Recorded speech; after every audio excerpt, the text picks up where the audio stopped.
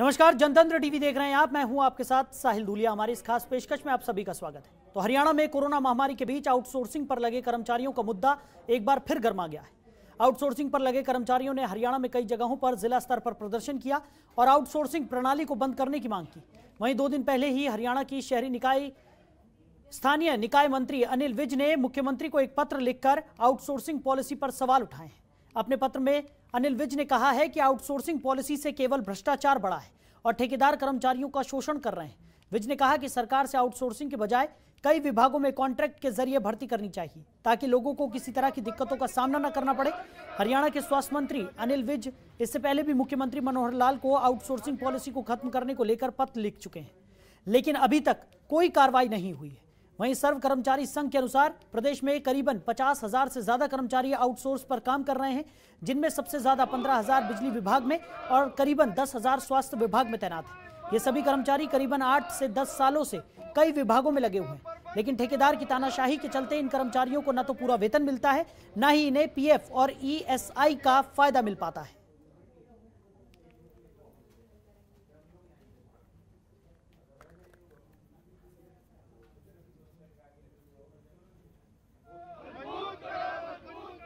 सरकारी सेवा की स्वास्थ्य सेवाएँ सुधार करो सुधार करो सबको वैक्सीन फ्री का प्रबंध करो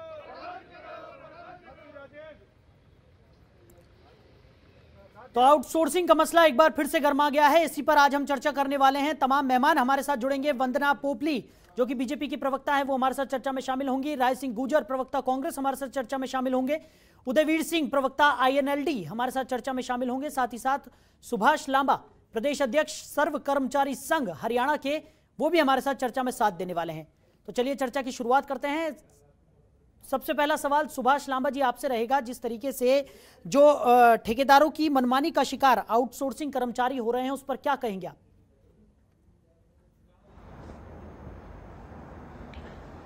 देखिए साहिल जी जब भारतीय जनता पार्टी सरकार सत्ता में आई थी जी। 2014 में तो बाकायदा तौर से घोषणा पत्र में वायदा किया गया था कि ठेका प्रथा ये जो पॉलिसी है ये भ्रष्टाचार की जर्नी है शोषण की पोषक है और हमें सत्ता में आने का मौका मिला तो हम इसको खत्म करेंगे कच्चे कर्मचारियों को रेगुलाइजेशन का काम हम करेंगे। जी। लेकिन अब सात साल हो गए और जो माननीय विज साहब कह रहे हैं बिल्कुल ठीक ही कह रहे हैं हम आप देख रहे हैं कि हमने माननीय मुख्यमंत्री जी से बातचीत की कि आप 18 परसेंट जीएसटी उनको दे रहे हो सर्विस चार्जेस दे रहे हो ईएसआई ईपीएफ का जो पैसा है वो ठेकेदार डकार रहे हैं। सरकारी खजाने को नुकसान हो रहा है और मजदूर को पैसा नहीं मिल रहा है। और मज़ेदार बात यह है साहिल जी कि आईटीआई के अंदर हमने शिकायत करी माननीय मूलचंद शर्मा जी मंत्री महोदय ने उसकी जाँच कराई वो जाँच में ठीक पाए गए। एटीएम और पासबुक भी ठेकेदार के पास ही मिली। जी। और बाकायदा उन रिकॉर्ड है कि कमेटी में भ्रष्टाचार के बड़े आरोप लगे। जी। और सीज़न की तरह ठेकेदार इसका यूज़ करते हैं। एक ठेका बदल गया दूसरा ठेकेदार आ गया। अस्सी अस्सी साठ साठ हज़ार रुपये लेकर के उसको काम पर लगाते हैं। जी। स्वास्थ्य विभाग में अगर हम बात करते हैं एक तो एक तरफ़ तो हम उन कोरोना योद्धा बोलते हैं सैल्यूट करते हैं। और दूसरी तरफ़ उन्हीं कोरोना योद्धाओं को जिसको सैल्यूट करते हैं हाँ। उनको नौकरी से निकाल रखा है। और माननीय अनिल विज साहब ने पत्र लिखा है डायरेक्टर जनरल हेल्थ सर्विसेज़ ने चिट्ठी लिखी है कि किसी भी पुराने कर्मचारी को ना निकाला जाए। लेकिन इसके बावजूद निकाल रखा है और ना मंत्री की सुन रहा है ना डायरेक्टर जनरल हेल्थ सर्विसेज़ की सुनी जा रही है। तो ये कौन सा मतलब नए प्रकार का न्यू इंडिया बना हुआ है कि जो नियम कानून कायदों को मानने को तैयार नहीं है पीएफ खाने लग रहे ईएसआई खाने लग रहे हाँ। और उसमें पैसा लेते हैं। इसलिए हम ये मांग कर रहे हैं कि ठेका प्रथा को खत्म किया जाए। और डायरेक्ट भी आप कॉन्ट्रैक्ट पर रख सकते हो उनको। ये बीच के जो बिचौलिया सिस्टम है जो हम कहते हैं बिचौलिया सिस्टम खत्म कर रहे हैं। ये बिचौलिया सिस्टम खत्म क्यों नहीं कर रहे? ठीक है। आप डायरेक्ट इनको रोल पे क्यों नहीं जवाब ले लेते हैं। ये पैसा बच जाएगा सरकार के पास। हाँ। वंदना जी हमारे साथ जुड़ी हुई हैं प्रवक्ता हैं बीजेपी की। वंदना जी क्या कहेंगी आप जिस तरीके से विपक्ष तो लगातार इसकी मांग उठाता ही रहा है कि जो ये आउटसोर्सिंग पॉलिसी है उसे खत्म कर दिया जाए लेकिन अब तो सरकार के अंदर भी स्वर बुलंद होने लगे हैं। क्या कहेंगे? जल्दी से। पहली बात कर्मचारी इस आवाज़ को उठा रहे हैं और यहाँ हमारी सरकार से आवाज़ आ रही है। विपक्ष इस आवाज़ को नहीं उठा पाएगा क्योंकि उन्हीं की देन है। हम्म। जहाँ तक अनिल विज की आप बात कर रहे हैं अनिल विज जी ने आज नहीं इसके बारे में पहले भी चर्चा की थी।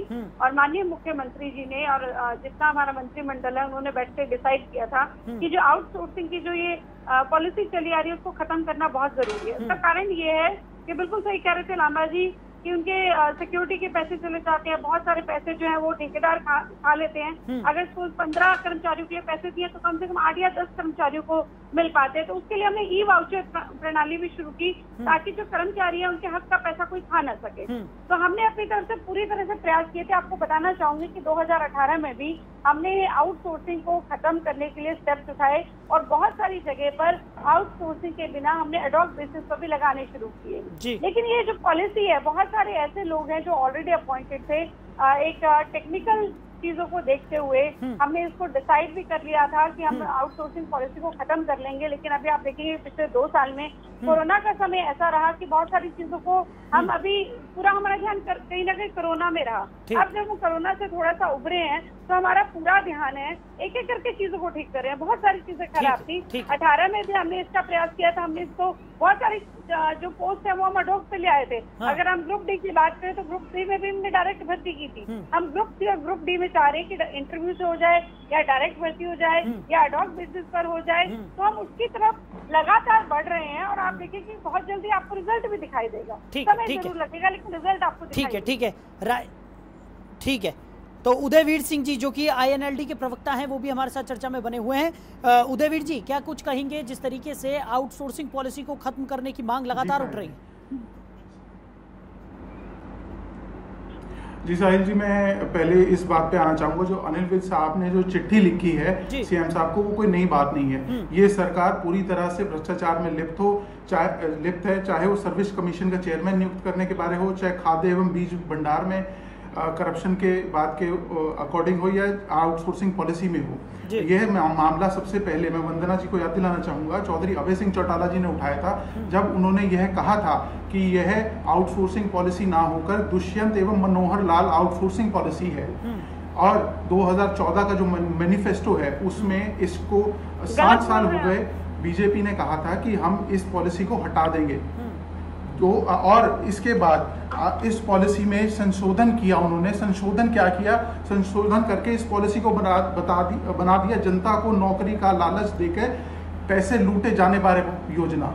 और इसमें इनके जो कि मंत्री और विधायक भी ये मानते हैं कि ये पैसे लेके इसमें लगाया जाता है और पैसे लेके ही आगे कर्मचारी को कंटिन्यू करा जाता है। वह अनिल विज जी ने अपनी चिट्ठी में भी लिखा है। यह यही नहीं केवल और इसके जो मापदंड है क्योंकि इसमें जो भी कॉन्ट्रैक्टर हैं वो सभी के सभी सरकार के नुमाइंदे हैं। जो भी कॉन्ट्रैक्टर हैं वो सारे मापदंडों को अनदेखा कर रहे हैं। चाहे उसमें अ, महिलाओं के बारे में मातृत्व अवकाश होता है उस बारे हो चाहे शिक्षा के मापदंड हो उस बारे हो और चाहे कर्मचारी की जो प्रगति रिपोर्ट है वो हर महीने डीसी को सौंपनी होती है उस बारे हो। और एक जो लांबा जी ने सुभाष लांबा जी ने जो मुद्दा उठाया था कि जो पेमेंट है वो कर्मचारी के खाते में नहीं आती। तो उसमें ये पॉलिसी के बारे में कैसे पता चलेगा? ठीक है एक सबसे बड़ी बात और है इस पॉलिसी में फॉल्ट है। वो है जो पिछड़ा वर्ग है उसके अनदेखी की गई है। इस पॉलिसी को ना खत्म करने बारे बीजेपी की एक मंशा सबसे बड़ी सामने आई है जो एस सी वर्ग है उसे इस पॉलिसी में कहीं भी मापदंड नहीं दिया गया कि वह वो सब लोग लगेंगे इस पॉलिसी में या नहीं लगेंगे कितने परसेंट लगने चाहिए जो कि भारी भारतीय संविधान के आ, अनुसार भी गलत है। और एक बात और बता दूँ मैं जो आशा वर्कर्स का जो आज एजुटेशन था करनाल में वो था कि आशा वर्कर्स को कोविड फाइटर्स का दर्जा दिया गया। कोविड फाइटर्स को जो सेंटर की गवर्नमेंट है उसने 50 लाख रुपए किसी भी मृतक के मृतक आशा वर्कर को देने का किया और 10 लाख रुपए हरियाणा सरकार ने कहा। पर वो अभी तक लागू नहीं करी गई है। प्लस जोखिम भत्ता जो कि हर साल का दस हज़ार रुपये कोविड के दौरान था वो भी नहीं दिया गया अभी तक। आशा वर्कर्स को। और इसके अलावा, जो कि तीन, करीब हरियाणा में तीन हज़ार ऐसे सरकारी स्कूल हैं, जिसमें ना तो- कई पदों पे अध्यापक नहीं है, कई पदों पे मुख्य अध्यापक नहीं है, जिसके कारण जो विद्यार्थी हैं, उनकी संख्या घट रही है, दिन पर दिन घट रही है। और यही नहीं, आपको मैं एक और चीज़ बता देना चाहूँगा जो इकोनॉमिक्स टाइम का सर्वे है इंडिया का उसमें यह बताया गया है जो इस टाइम बेरोजगारी की दर है हरियाणा में वो सारी स्टेट में सारे आ, हिंदुस्तान में सबसे ज़्यादा है 44 परसेंट के हिसाब से अनएम्प्लॉयमेंट है हरियाणा में जो कि सबसे ज़्यादा पहले 2019 अप्रैल में थी 28 परसेंट के हिसाब से जो कि अब बढ़ के। 44 परसेंट हो गई है तो मैं ये कहना चाहूँगा सर, सरकार कहाँ है। सरकार क्यों नहीं सुन रही है है। इसमें सिर्फ़ कर्मचारी वर्ग नहीं हाँ। पिछड़ा वर्ग भी हाँ। सारे वर्ग सारे ही वर्ग सारे ही दुखी हैं ये काला एक बहुत बड़ा ये जो प्रशासन है हम्म। ये का, ठीक है। राय सिंह गुजर जी भी हमारे साथ जुड़े हुए हैं उन्हें भी चर्चा में शामिल कर लेते हैं। राय सिंह जी आप क्या कहेंगे जिस तरीके से लगातार मांग उठ रही है कि जो आउटसोर्सिंग की पॉलिसी है उसकी वजह से जो कर्मचारी उसके लिहाज से काम कर रहे हैं उन्हें खासा परेशानियों का सामना यहाँ पर करना पड़ रहा है। शाहिद जी प्रदेश के गृह मंत्री जी के पास दो विभाग हैं। हाँ। गृह मंत्रालय और स्वास्थ्य विभाग। हम्म। दोनों विभागों की कार्यशैली उनकी कार्यकुशलता हम्म। के मामलों में नीतिगत फैसलों को लेकर पारदर्शिता से जुड़े सारे कार्यों में नाकाम हो चुके हम्म। कानून व्यवस्था हरियाणा की स्थिति लचर आपने देखी है। हम्म। आए दिन चर्चा डिबेट पर होती है अखबारों में सुर्खियाँ होती है। हम्म। और उसका दूसरा विभाग जो स्वास्थ्य विभाग है स्वास्थ्य विभाग विशेषकर आपने कोरोना काल में देखा है। इस प्रकार कोरोना काल में मेरे सहमते डरते तड़पते परेशान हताश हरियाणा वासियों ने भ्रष्टाचार के सारे आलम स्वास्थ्य विभाग में देखे बेड और ऑक्सीजन को लेकर प्राइवेट लूट किस प्रकार इनकी आँखों के सामने हुई इन्होंने देखी। हम्म। अब क्या है? ये जो माननीय गृह मंत्री जी का पत्र है हम्म। ये पत्रों में और सुर्खियों में और ट्वीट पर रहना पसंद करते हैं। हम्म। आप देखिए कि जब सरकार बनी थी सरकार बनी थी तो जब इनके पास गृह मंत्रालय आया और इनके पास सीआईडी विभाग अलग किया गया तो सीआईडी विभाग लेने के लिए केंद्र सरकार के पास पहुँचे अपनी बात कहने के लिए। कितनी रस्साकसी हुई और फिर आखिर में तय हुआ कि कौन अधिक संघ की सेवा करेगा और संघ में सेवा का भाव आप राजनीतिक रूप से समझते हैं हम्म। उस व्यक्ति को उस नेता को सीआईडी विभाग दिया गया और बाद में यही परिपाटी हम्म। डीजीपी की नियुक्ति को लेकर हुई हम्म, तो पूरी तरह से हरियाणा सरकार जो है वो केवल जनता का ध्यान जो लगातार मेरे मित्र इनालो के प्रवक्ता ने बताया। कि आंकड़े क्या बता रहे हैं के आंकड़े क्या है रोज़गार क्या है। एक वो हमारे जो गठबंधन सरकार के मुखिया हैं हाँ मुखिया जी की जब कार्यशैली पारदर्शिता लोगों के सामने होगी तो इस प्रकार के फैसले आते रहेंगे। दूसरी बात मैं हाँ। कहना चाहता हूँ कि हरियाणा सरकार खुद आउट आउटसोर्सिंग पे है। हम्म।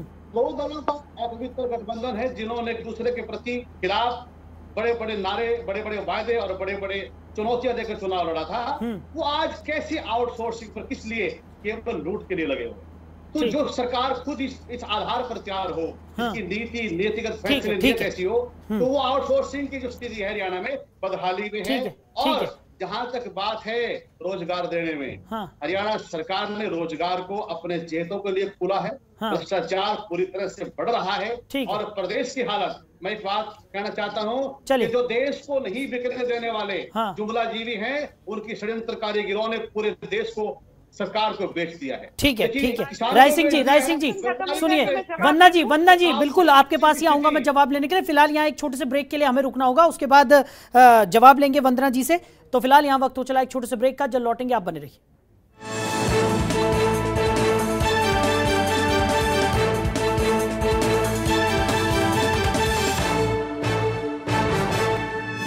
आप देख रहे हैं जनतंत्र टीवी।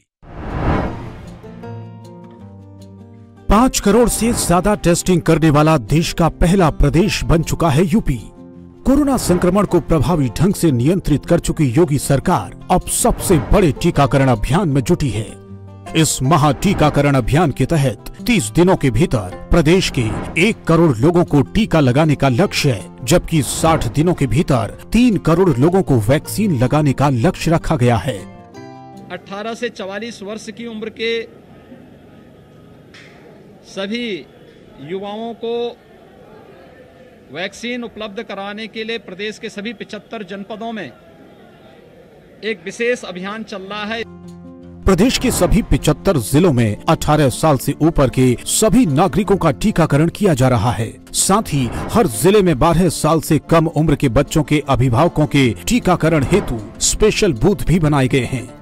योगी सरकार के महा टीकाकरण अभियान का हर उम्र और हर वर्ग के लोगों ने स्वागत किया है। जो कि ज़्यादातर देशों में पैसे दे के भी जो वैक्सीन नहीं मिल रही है हमारे देश में अ, मुफ़्त में उपलब्ध करा रही है सरकार। वैक्सीन पूरी तरह से सुरक्षित है अफवाहों से दूर रहें और वैक्सीन ज़रूर से ज़रूर लगवाएँ।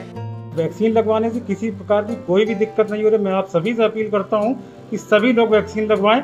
वैक्सीन ज़रूर लगवाएँ क्योंकि वैक्सीन ही आपको कोविड से बचा सकता है। ये सरकार द्वारा एक कवच हम लोग को प्रदान किया गया है।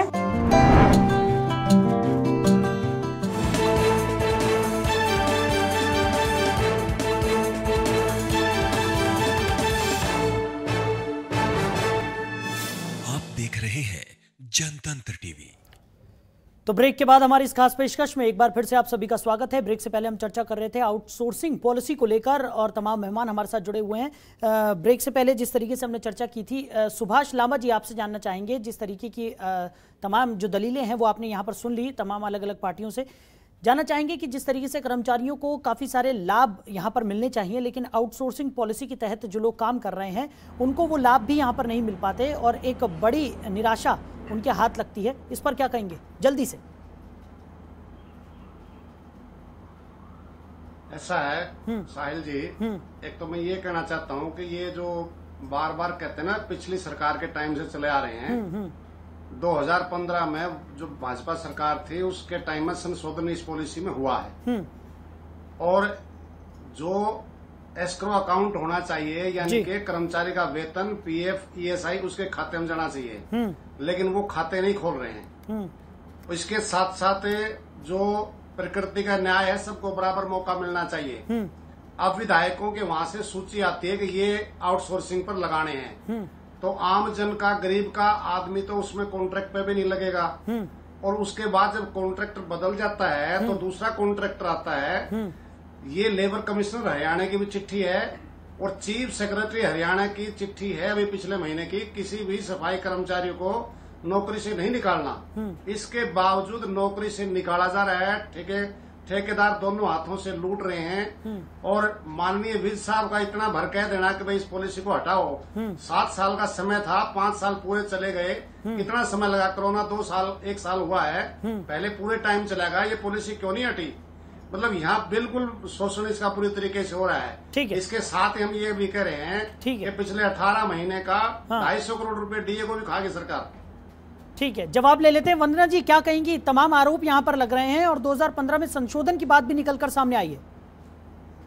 साहिल जी मैं यहाँ पर एक एक बात का जवाब देना चाहूँगी। जी। आपको होपफुली मुझे अच्छा टाइम देंगे हाँ, कि हाँ। हर एक की बात का जवाब हाँ थोड़ा जल्दी। सबसे पहले एनएलडी के जो प्रवक्ता हैं उन्होंने कहा कि सबसे पहले अभय सिंह चौटाला ने आवाज़ उठाई और मनोहर और दुष्यंत की बात की। तो लांबा जी ने अभी आपकी बात काट दी कि 2015 में ही संशोधन की बात हो चुकी थी और 2018 में हम ये इस चीज़ निर्णय पे आ चुके थे कि हमें धीरे धीरे इस उसको इस प्रणाली को आउटसोर्सिंग प्रणाली को बिल्कुल खत्म करना है। और हम उससे प्रतिबद्ध हैं और बहुत जल्दी आपके सामने ये वाली सिचुएशन आएगी। हो सकता है आपको लगता हो कि 2015 से हम कर रहे हैं कुछ चीज़ों में टेक्निकलिटी में टाइम लग जाता है। एनडीए वन में हो सकता है 370 नहीं हटी लेकिन एनडीए टू में 370 एक सेक- एक सेकंड में गई थी। तो ये समझिए कि हमारा पूरा ध्यान है जनता की तरफ़ और अगर कहीं पर गड़बड़ है तो उसको हम ठीक करने का प्रयास करेंगे। यहाँ पर दूसरी बात एस सी एस टी आरक्षण की बात कर रहे थे एनएलडी के प्रवक्ता आउटसोर्सिंग में। तो आपको बताना चाहूँगी हमारी सरकार ने ही शुरू किया था। शेड्यूल कास्ट शेड्यूल टाइम में आरक्षण है जो टाइप वन है उसमें आरक्षण है और वो हमारी ही सरकार ने शुरू किया था। आप पूरा पढ़कर आया करें आपको ये मालूम होना चाहिए। और यहाँ पर आपने एक और प्रश्न उठाया कि विद्यार्थियों की संख्या कम हो रही है। आपको बताना चाहूँगी विद्यार्थियों की संख्या लगातार बढ़ रही है। पिछले बार हमारे दो लाख विद्यार्थी बढ़े थे। इस बार एक न्यूज़ ने गलत खबर छापी थी कि चार लाख विद्यार्थी घट गए जबकि टेंथ का रिज़ल्ट आया नहीं था। इलेवेंथ में जब तक एडमिशन हाँ, वंदना जी, वंदना जी, हाँ। वंदना जी, इम्पोर्टेंट चीज़ और हाँ। नहीं अभी मैंने जो कांग्रेस के प्रवक्ता है उनका मैं जवाब दे दूँ यहाँ हाँ पर। थोड़ा तो जल्दी वंदना जी हमारे पास समय कम है और जो मेन मुद्दा है हमारा उस पर आइए। जी जी। जी हॉस्पिटल्स की बात आप कर रहे थे कि हॉस्पिटल्स में लूट हुई लेकिन वो जो कोरोना टूल किट आई ना आपकी कि हॉस्पिटल में जगह खाली रखना मत जाने देना। ये आउटसोर्सिंग में जो भर्तियाँ आप लोग किया करते थे नौकरी के नाम पे जो लूट किया करते थे पर्चियाँ आपके नेताओं की जेब से निकलती थी। नौकरी इनने के उसको नाम पूरा पे लूट आप लोगों ने की है। खत्म कर- अरे लूट कौन सी कर दी है? बता अरे सत्रह बार? पेपर आपके कैंसिल हुए हैं। एसएससी बोर्ड के सत्रह बार पेपर रद्द हुए हैं। भ्रष्टाचार चेयरमैन पर लगा है। आपने जाँच नहीं की। उसको क्लीन चिट दे दी गई। जी भाषण जीवी जी भाषण अरे है भाषण जीवियों के प्रेरणा स्रोत। अरे अरे देश को लूटने वाले लोगों के अरे लूट जीवी हैं आप भाषण जीवी हैं आप। आपको यहाँ पर जवाब सुनना चाहिए। आपको मालूम होना चाहिए नौकरियों के नाम पर पैसे आप खाया करते थे। हमने करप्शन फ्री सरकार हमने यहाँ पर दी करप्शन फ्री नौकरियाँ दी है। अब यहाँ पर बच्चे तो आजकल के बच्चे आउटसोर्सिंग में लोग परेशान हैं जो चलिए ठीक है ठीक है शांत हो जाइए शांत हो जाइए वन्ना जी। राय सिंह जी। खर्ची खर्ची का समय गया। ठीक है वंदना जी। योग्यता के आधार पर नौकरी मिलेगी और आउटसोर्सिंग में भी आपको बहुत जल्दी बदलाव देखने को मिलेगा। हम धीरे धीरे इस तरफ़ बढ़ रहे है, हैं और आगे आप देखेंगे कि ये प्रणाली ठीक है। खत्म की तरफ़ उदयवीर जी कुछ कहना चाह रहे हैं। जी उदयवीर जी अपनी बात रखिए जल्दी। साहिल जी मे, मेर, मेर, मेरा सवाल वंदना जी से है। वंदना जी ने कहा कि एस सी के लिए हमने रिजर्वेशन इसमें आउटसोर्सिंग पॉलिसी में किया। तो अगर रिजर्वेशन किया होगा तो उनके पास आंकड़े भी होंगे कितने एस सी लगते हैं हर एक डिस्ट्रिक्ट में। क्या वंदना जी से बता पाएँगे? दूसरी बात कि वो कह रहे हैं विपक्ष ने मुद्दा नहीं हटाया। ये मुद्दा विपक्ष ने ही उठाया था ये अभय सिंह जी ने ही उठाया था। दूसरी बात तीसरी बात वंदना जी खुद मानती हैं कि न्यूज़पेपर ने गलत खबर छापी है बोलती हैं गलत खबर छापी कि जो विद्यार्थी हैं वो घट रहे हैं पर वो गलत नहीं थी। ऐसा है साहिल उदयवीर जो, जी देखिए देखिए देखिए कई सारे मुद्दे हैं यहाँ पर लेकिन अभी हम जिस बात पर चर्चा कर रहे हैं वो है आउटसोर्सिंग पॉलिसी और कृपया आप लोग उसी पर रहिए हाँ। बिल्कुल आउटसोर्सिंग के बारे में ही कह रहा हूँ। हाँ। हाँ जो बिना खर्ची बिना खर्ची वाला जो बवंडर था एक झूठ का बवंडर निकला है हाँ। तो हरियाणा की जनता को पता लग गया है। ठीक है। आज वंदना जो से जवाब ले लेते हैं। लिए जी। नौकरी नहीं है। ये जो आउटसोर्सिंग है। नौकरी लगा रहे हैं वो बीजेपी विधायकों या एमपीओ के ही व्यक्ति हैं। ठीक है ठीक है। वंदना जी जल्दी से जवाब दीजिए फिर राय सिंह जी के पास जाएँगे। जिम्मेदार एक जिम्मेदार और बड़े चैनल पर बैठकर आप आरोप लगा रहे हैं। अगर आपके पास कोई भी प्रूफ है हम्म, आप उसको लेकर आइए। अगर एक्शन नहीं हो तो बोलिएगा। आपकी झूठी बातों में आकर हम ये इसको मानने वाले नहीं है। अगर आपको लगता है कि अगर इस तरह का कोई काम हो रहा है हाँ। तो प्रूफ लेकर आइए। ठीक है राय सिंह जी। राय सिंह जी जल्दी से अपनी बात रखिए समय बहुत कम है हमारे पास। जल्दी। राय सिंह जी जल्दी।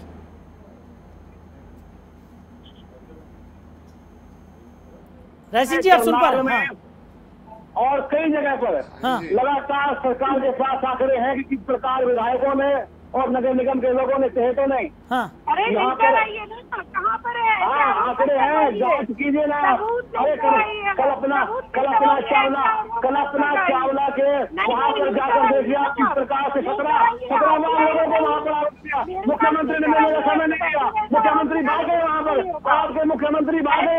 ये प्रदेश चलिए चलिए ठीक है ठीक है। वंदना जी राय सिंह जी इस तरीके से चर्चा आगे नहीं बढ़ पाएगी। शांत हो जाइए शांत हो जाइए। सुभाष लांबा जी आप जल्दी से बताइए सरकार से आपकी क्या मांग है? समय बहुत कम है हमारे पास जल्दी।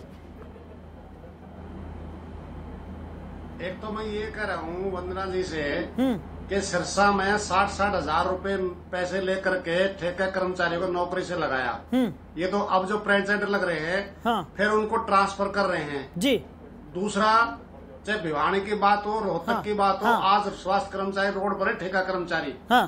और कोई रिजर्वेशन नहीं है जो लिस्टें पहले आती थी इसी प्रकार से लिस्टें अब आ रही है और कॉन्ट्रैक्ट पर लगते हैं। हाँ। ठेका बदल जाने के बाद में सारे पैसे लगाते हैं पूरी तनख्वाह नहीं उनको मिल रही रिकॉर्ड पे है तनख्वाह नहीं मिल रही। हाँ। पीएफ उनका पैसा जमा नहीं हो रहा है ईएसआई का पैसा जमा नहीं हो रहा है उनका इलाज जमा नहीं हो रहा हाँ, हाँ। और चीफ सेक्रेटरी की इंस्ट्रक्शन है मंत्री जी की चिट्ठी है वो लागू क्यों नहीं हो रही? अगर लागू क्यों नहीं हो रही तो उसके लिए कौन जिम्मेदार है? ठेकेदार क्या वंदना जी, जल्दी से- जल्दी से जवाब दीजिए, वंदना जी। बड़े हैं? या चीफ सेक्रेटरी तीस सेकंड है आपके पास। वंदना जी जल्दी। लांबा जी मुझे लगता है कि अगर कहीं पर ईएसआई के पैसे जमा नहीं हो रहे आपको इमीडिएटली कंप्लेंट करनी चाहिए। मुझे लगता है ऐसे ही यहाँ पर आके आरोप लगाना सफिशियंट नहीं है।